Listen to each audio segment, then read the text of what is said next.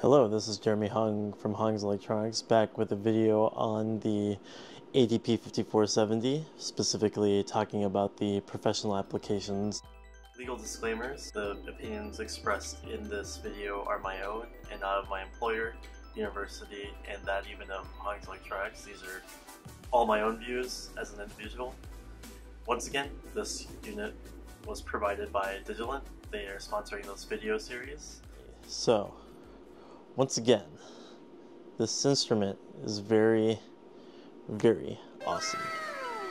The clear thing is value, right? I'm going to talk about a lot about value with this, right? And uh, I'm going to kind of brush over like some of the other specifics with scopes like memory depth and I don't know, like, right, like this isn't a USB 3.0 scope. It has ethernet, so like, right, we can do some high speed functionality and such, but uh, again, right, like just just as a scope and then a logic analyzer out of the box, you get quite a bit of value just from that, and uh, especially if you have a laboratory where it's just like one scope, one very very high end scope that your engineers are fighting over. Uh, yeah, so this is something they'll probably look into as far as uh, maybe trying to.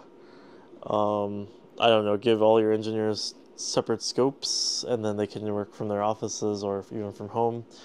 And that's uh, something I might even talk about a bit. And gonna just very talk generically about work stuff because right I work for a company. Can't say. Sign an NDA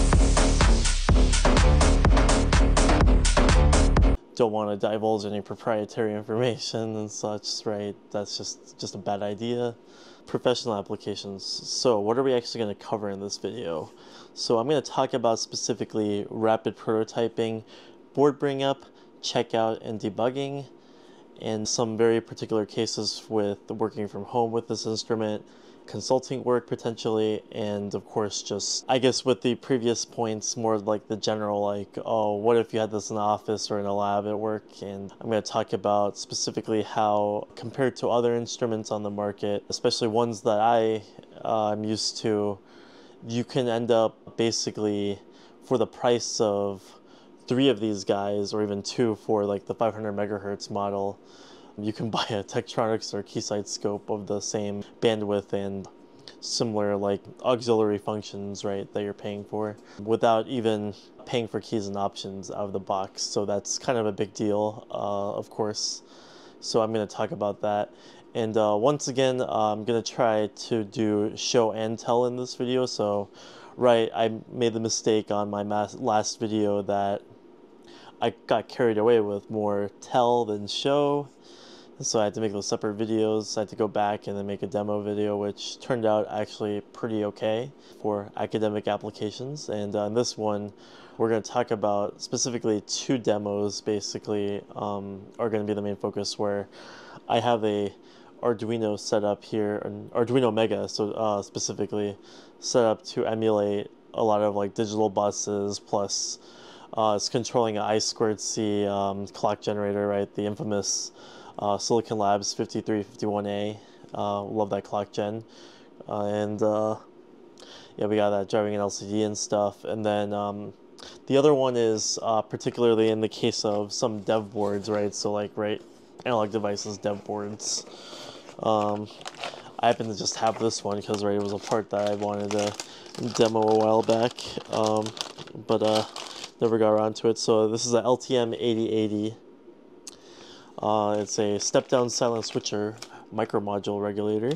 And uh, this thing takes anywhere from 4 to 40 volts in and then outputs uh, what like two two uh yeah two two outputs of 3.3 in this case is what this is configured. So we'll put that to the test. Um, again like uh this uh, benchtop um, unit right they again the ADP 5470 has the integrated power supply integrated MSO all right, specifically with the analog channels, right, rated on this model at 350 megahertz, that's going to come in handy all-in-one testing required to check out a dev board like this. So, right, what I'm already kind of foreseeing even before, right, demoing, like I'll need a multimeter, I'll need at least two channels on the scope to measure the input and output. There's also a case there where we might potentially even measure right noise, just cursory glance at noise, and then just kind of look at other other interesting parameters as we go. So, as far as other applications, right, one very good feature about this device in particular is, right, power supply has that integrated current and power monitoring, which I'll demonstrate. Something I haven't really tried before is the pass-fail uh, automated testing features in, in the, really any of the Digilent products. I'm not really a test engineer or a test automation engineer, as people would call it, or really involved in QA or QC processes. I'm aware of those processes, but that's not particularly my specialization. I'm more of a, you know, forward design engineer and a hardware reverse engineer. So uh, um, that gets into some interesting spe- uh, specific topics that we'll talk about in this video as well. Particularly, right with this uh, Arduino demo, it is kind of meant to show generically like the capabilities of the MSO. So right, time correlating uh, logic analyzer channels with the four channel oscilloscope. So right, with the Arduino demo, we have three channels out of the four just uh, dedicated to monitoring all three clock generator outputs and then seeing just kind of how those work. And then um, the fourth channel we can use for like debugging and stuff. I've already done this uh, um, the other night when I was trying to make this thing work. And uh, th this isn't 100% still.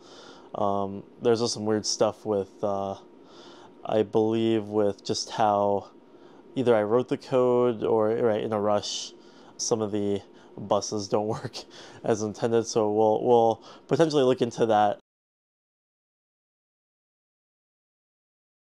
All right, so now the next demo we're going to go into is going to be with the Arduino Mega Okay, in this demonstration of the ADP5470, um, again, we got the Arduino Mega uh, putting out all these different digital protocols, as well as uh, controlling the SI5351, which is outputting a, uh, what is this, like a 10 kilohertz uh, um, square wave or something. We can actually measure that. Uh, let's see. Yeah, 10, 10.706 kilohertz is what this is set at at all channels. Um, and again, right, we got, let's see, uh, if I can do add time base here to, we got hello world being displayed out on the UART. Um, again, we got, yeah, we can see I squared C right. Um, SPI bus is active on both of them. And uh, yeah, so that's kind of just how that goes. And then it's like, if we're not interested in this, we can switch over to switch over to JTAG. So actually, let's trigger off the clock pin. And then we can just do a single. Yep, and here we go. We got our uh, JTAG activity. Um, and then now we got, we can do this on SWD.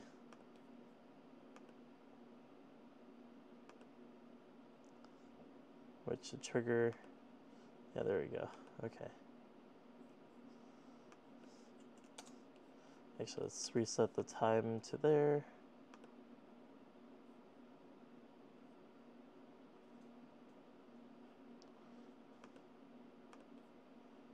And, oh, whoops, let's ignore this.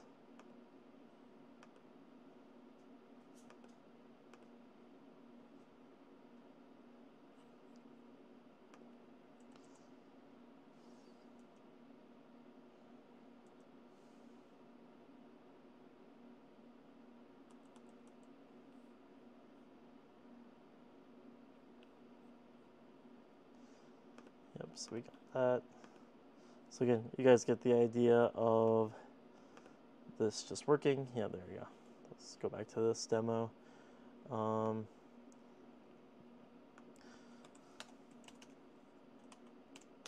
put the offset so we fit everything on screen. Change this time base a little bit to get to see the hello world message. Yep, so there we go. And once again, make these time correlated measurements where, right, like I'm trying to measure off the clock edge here. So let's see, hello world. It's like, wow, look at that. There's our deltas and everything. And Same goes for, again, from digital domain to then, of course, just oh, do I want to correlate with this? Do I want to correlate with that? We can we have option options there.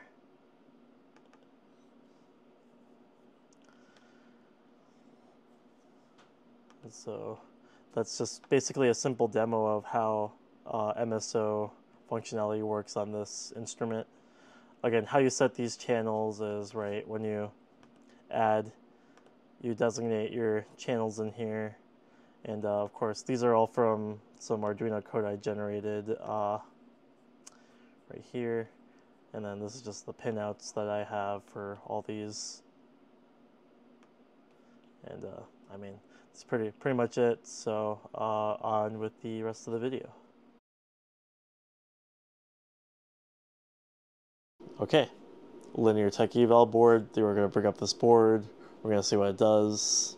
So here. Alright, so now we're going to try this demo out where we have the LTM 8080 step down silent switcher micro module that we're to try out here. Um, so now we're going to try to feed it, uh, yeah, I guess, right, we have 25 volts we can play around with here. And uh, let's, let's try this out. So, uh, first we're definitely going to need the scope. Um, oh, this is from my previous setup. Uh, let's see. I'm going to have to close that. Hold on a second. Oh, no. Oh, wait, I might have just have to restart the video. I mean, okay, there we go.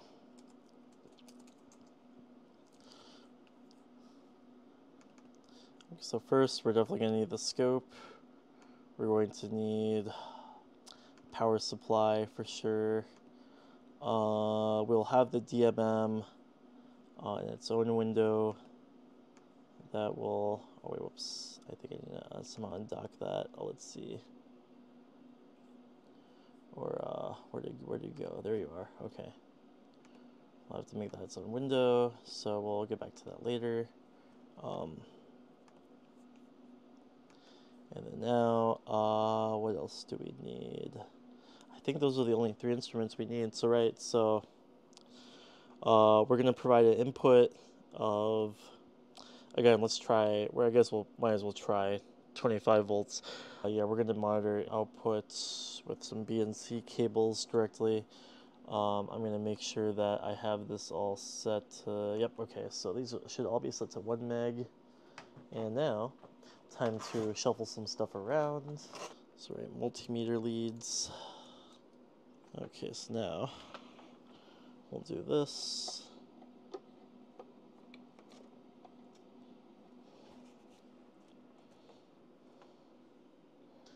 And then, let's see. Okay, I will use this guy for, or actually, not this guy. Um, we will use probably, oh yeah, here we go. My leads from the previous video. Alright, we're going to need to do plus and minus. Alright, so now let's untangle that.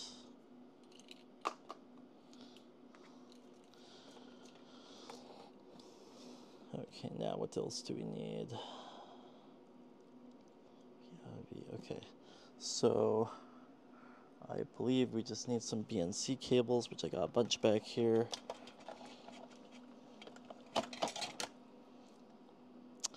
Okay, that'll do.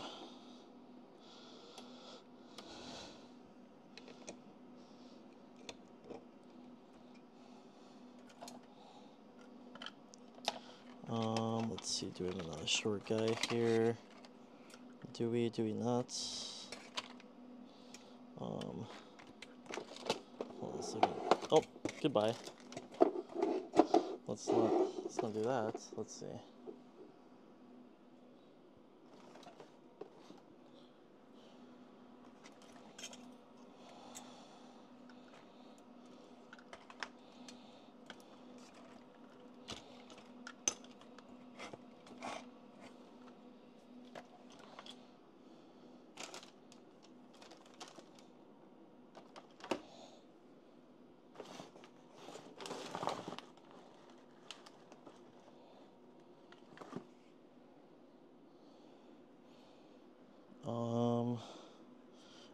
Realized I'm using a valuable. Okay, hold on a second. If the video cuts off here for some reason, okay, let's. That's gonna suck, but we will once again play this by ear.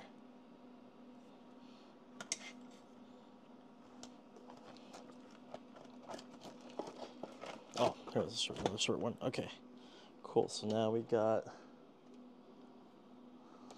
plugged in here, that plugged in there. Okay, cool. Now, okay, okay, nice. This is just ground. This one's just voltage. So now, what else do we need? I don't think we have to load this down initially, but we'll see. Um, let's clear, oh, actually, we don't need this guy. We definitely know, don't need this guy. Oh, wait, whoops, these.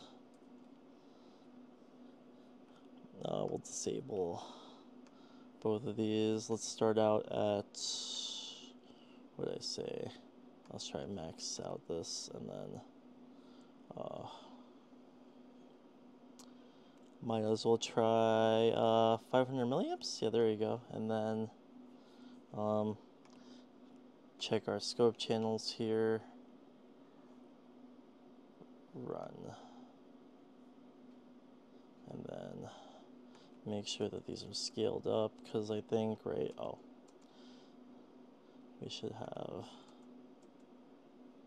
one volt per division. Okay. Wow, would you look at that? We got, again, there's 3.3 volts. Uh, let's see.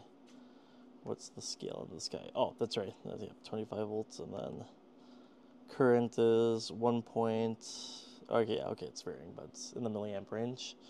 So that's pretty cool. Uh, let's see. Um, uh, one in the instrument that this guy lacks is definitely a um, uh, DC load, but uh, I mean, I don't, I can't name it all in one that has a DC load in, in integrated into it. So uh, very specialized instrument, right? As it turns out. Um, so, anyways, uh, now just for right, let's just as a sanity check, check. Uh, whoops. Let's first run the multimeter. Would you look at that? Oh my gosh, they're both 3.3. How about that? I love it just when that happens. Um, okay. Now, how do I want to do this? Um, well, simple one we can try first is, uh, okay, so cool. Okay, we got that. Um, we can go back to here.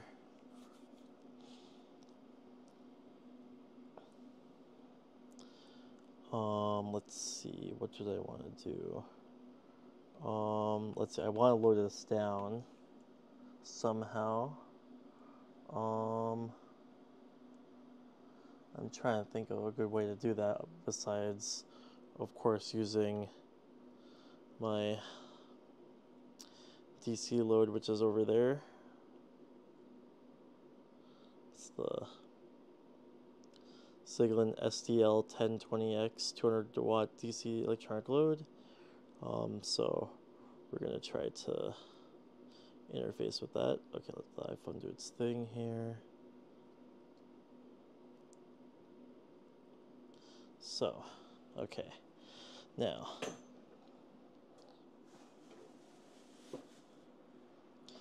Uh, the question now is Do I have adequate banana cables? Oh, that's right. Yeah, I think I do. Um, yeah, okay, cool. We'll try to get this sorted. So, first, let's turn the power supply off.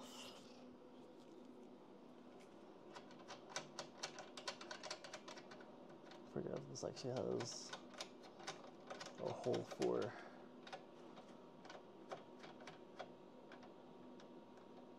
nope it does not okay that's fine um let's see. So now we're gonna set this to. Uh, let's try, or actually, let's try to record this.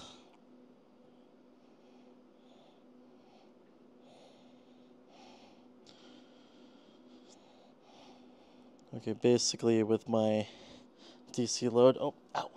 Ooh, ouch, that hurts. Um, we're going to try and do, how's that? First, let's get this pro, oh. Again, this is not going to work easily. Um, okay, if I only had a way to, uh, what did I use last time? Um,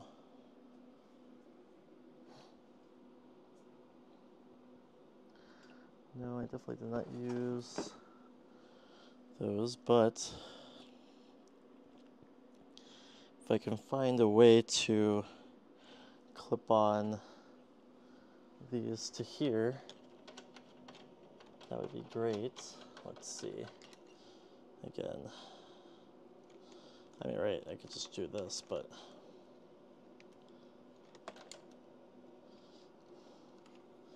And that just kind of leaves me with, oh, whoops, let's draw these this way.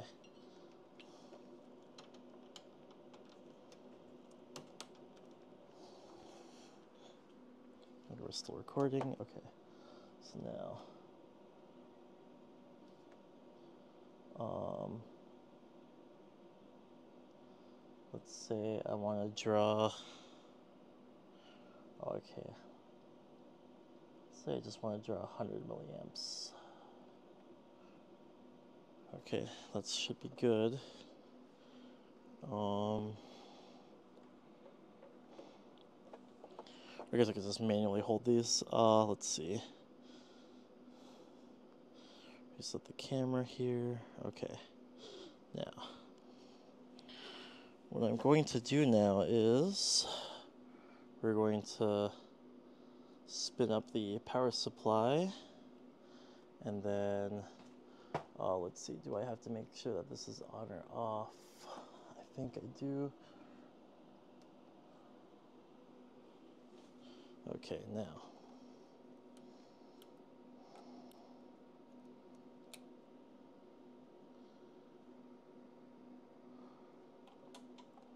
Oh, whoops. Nah.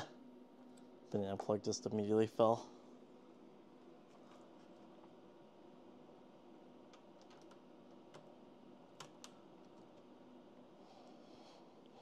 So, now.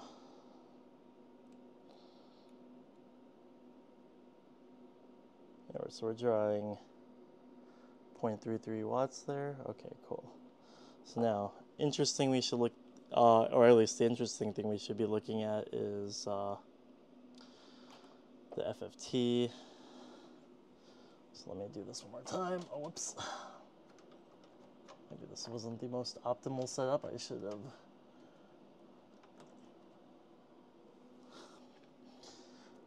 Prepped ahead of time here. Let's see.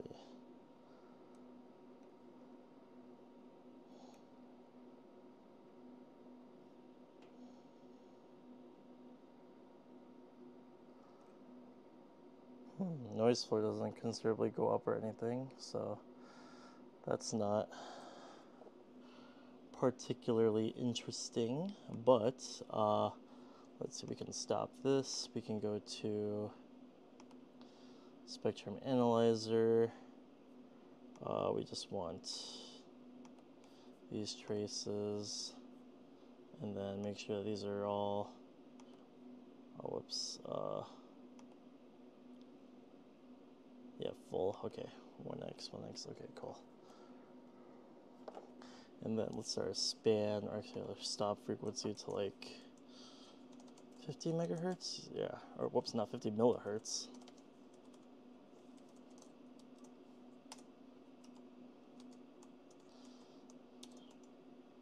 Oh, hello. Um, there we go. Okay, annoying, but we got it.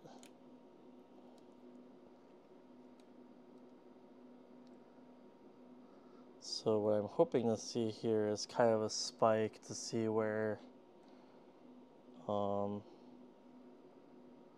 if we can capture any switch mode noise here, but uh, obviously I'm not seeing any.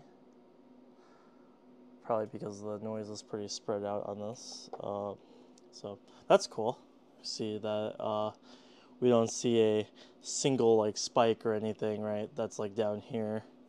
Um, so that's pretty neat. So uh, that at least is what I wanted to see with this demo. So I will end it here.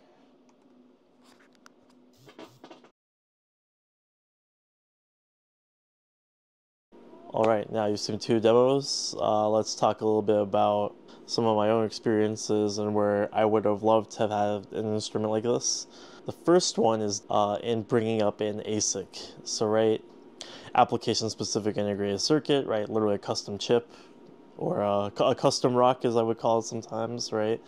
Um, uh, so, back at a uh, job, uh, I want to say three three years ago, we had a custom ASIC made. We didn't, uh, to save on cost, we didn't do the whole automated testing and binning of these parts. So we kind of put that on ourselves to do that in house. And so one of our software engineers developed a test suite to test out each part of this ASIC. Uh, I was the point man and just kind of doing that one by one, which was really cool. Like, right, I was, it's an experience that definitely uh, needed. I kind of find ASICs kind of fascinating, and also that there's also that risk, right? That if you don't get something right, that the, literally the mistakes are set in stone, which uh, we'll get into here. So, without being too specific, so it's an ASIC that was built in a modular way where each uh, block, so there were like either like four or five blocks in this design, were powered by their own independent voltage supply or VDD pin, right? And so checking out each one of these blocks, okay, voltage is nominal, current draw is nominal, like right, kind of establish a baseline. For some reason, the last block in that chain, or just uh, one of the last blocks in the, the ASIC, uh, was one, drawing too much current, uh, voltage rail was sagging, and uh, it was pretty evident that this was a short, as well as the fact that I think the internal temperature reported on that block was pretty elevated. So uh, again, all the all the key signs of a, a short somewhere, and uh, uh, checked out the board that we had made. Didn't there wasn't a, there wasn't a problem with the design. Um, as it turned out, I okay so gave some feedback to my superiors and even contacted the contract ASIC manufacturer. And as it turns out, uh, the program that they were using, which again I don't know if they were using Cadence or some other uh, layout tool, or I don't know what the tool chain is from the proprietary realm. I, I know at least what Tiny Tapeout uses now, but I don't know what the full like proprietary chain is. That's a whole um, can of worms, so to speak, of uh, lots of things, of lots of patchwork and uh, integration and tools, right, put together to make that work. But um, as it turns out on the mask right so the, the mask is the like master design that it's like uh, they'll make masks or right there's this uh, sheet of glass that has the pattern etched onto them and then for like the photolithography process right uh, just to briefly explain right photolithography is one of the more common methods if not the method to make chips. And uh, for like right most chips are multi-layer so each layer you have a glass that basically shining uh, laser light through a light to, at, or was it, to expose a pattern right onto the chip. And then you know right you have that photoresist and all that etching process right? Um, um, just in so many words that's how that works. But uh, anyways if you make a mistake on the mask that is a very expensive mistake. Because again the NRE costs right the non-recurring engineering cost the bulk of it is not only just the design work in itself, but the mask cost is substantially like right a huge portion of that. Because right that's every chip that you make is using those set of masks. Silicon's cheap right like wafers you can make them all day long and process them. But uh yeah masks not easily replaceable uh And so, as it turns out, on the mask, they found that there was a direct short between like a VDD plane on that on that block to ground. And they were like, "Wow, we could like right." I remember, I think the comment was, "I can't believe we found it, but because it just happened to be in this corner, we we saw that, and there was like that's not supposed to be there." So, uh, they confirmed that, and then uh, the foundry that we were using uh, took it upon themselves to one take responsibility, two make a new set of masks, which is a huge deal. So basically, for free, they completely uh, rectified this whole situation, and it was that was that was kind of nuts because I even I know right. Um, at that time, I didn't even really know much about ASICs other than just right, like just some general microfabrication processes from a course I took many years ago. Uh, but I just know that the gravity of that situation was that, mm, this is a lot of money. And so, uh, in the meantime, cool thing they did was we sent a bunch of these chips back. They used a focused ion beam, right? So literally like a particle accelerator to blast through uh, the short, and uh, we used a couple of those chips to, at least in the meantime, uh, use for and verify our design uh, before we could get the new set of chips in. So that was kind of a cool experience where, uh, right, ASIC is also board bring up, is also debugging, and uh, a very interesting case study of, uh, wow, what happens if you make a mistake on an ASIC? Uh, it's, a, it's a big deal. And so uh, an instrument like this would have been really helpful, right, to isolate that quicker, because, right, um, built-in trend logging and right um, as far as just like documentation it is wonderful right because you have that uh, again the trend plotting over time as well as just right the readouts and stuff that you could put like in a report would be would be awesome in like a professional setting because right documentation is everything and uh, in, in my case right i think i just remember sending an email saying that oh these blocks were sent drawing this many milliamps and right, uh, it's nothing to do with the power sequence or anything. It's just the baseline nominal. But then this one block was drawing pretty much like right, almost like right. You just as long as you kept giving it more voltage, it tried to uh, draw more current, and then the voltage would drop. To, and uh, it would be nice to at least see that right, like a graph or a plot of that happening another great use case, right? Hardware reverse engineering with this device is something that I could definitely see it excelling in, especially like right. That's kind of what I do right now. Uh, having lots of logic analyzer channels helps a lot. Uh, right, I'm kind of used to now where uh, you get a mysterious system or a chip, or so right, you get a mysterious system with a chip that has lots of pins. You want to have a logic analyzer with as many pins as possible to kind of see how the chip works. There are cases where you want to see what the what it's doing, right? Um, like how, what what kind of uh, sequencing it's going through, or just like just just for like general like oh, we have no idea what this does, but we'd love to see what kind of logic is or what digital signals are flying on those wires, right? So.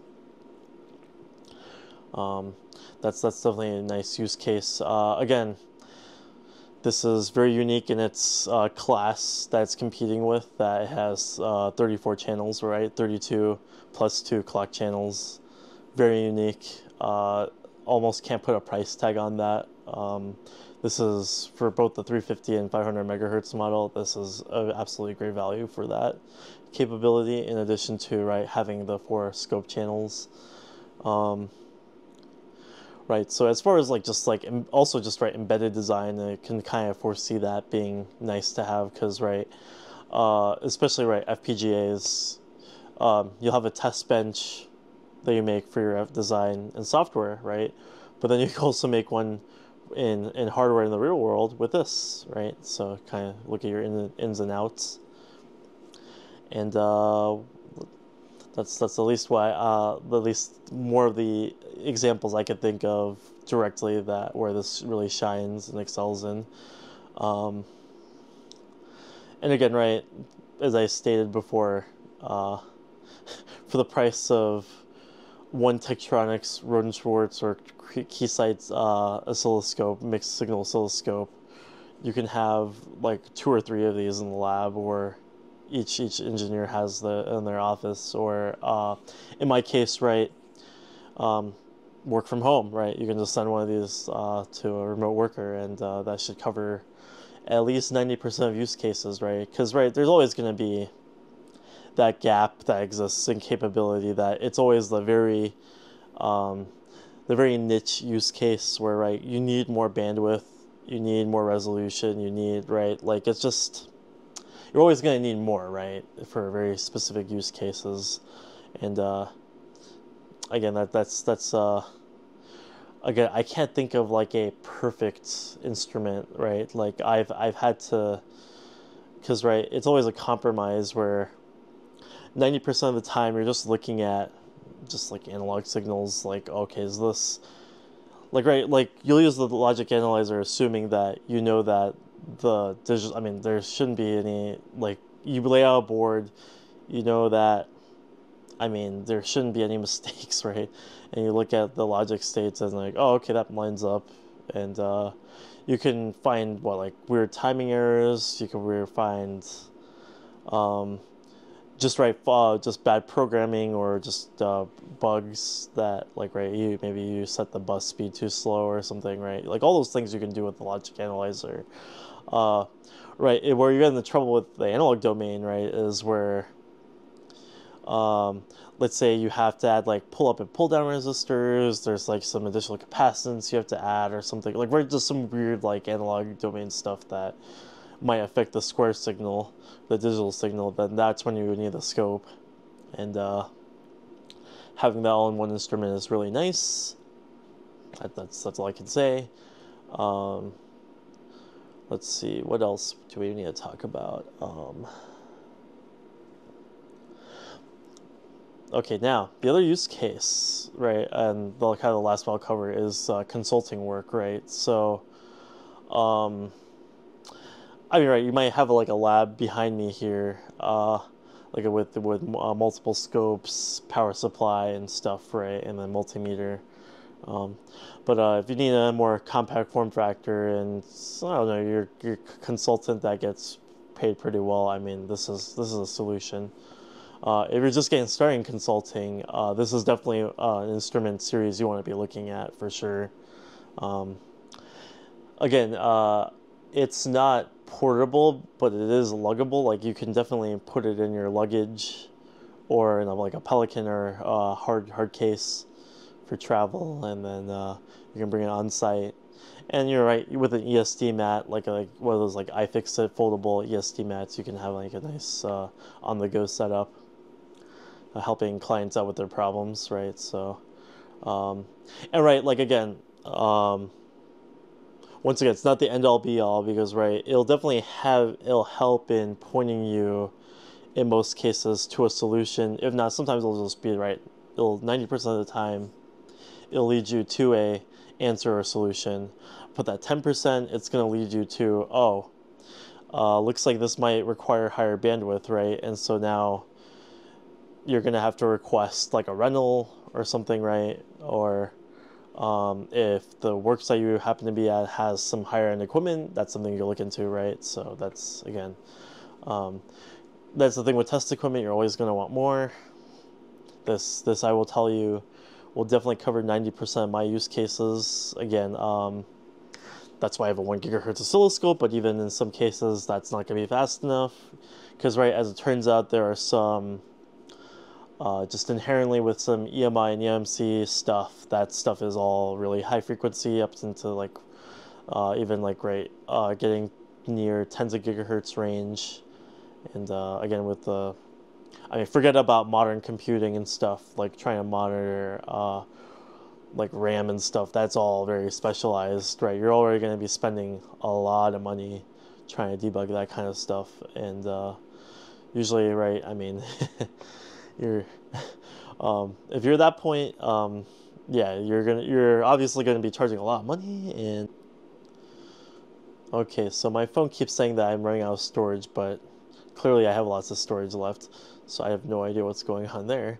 Um, yeah, so anyways, that uh, kind of concludes the uh, this video where, right, bottom line is, uh, this is definitely a series of instruments that I think professionals should really look into, especially for. Um, I mean, right as I as I said, right, like remote consulting, it's kind of a no brainer that this is something you should look into for sure. Uh, for more of an office, like in lab setting, right. Um, if you're looking, if you're having a problem where uh, engineers are fighting over test equipment, this is a solution that uh, let's say end of year budget's coming around, you have enough money for one hand, uh, one higher end oscilloscope or higher end uh, piece of test equipment that uh, might be in um, this.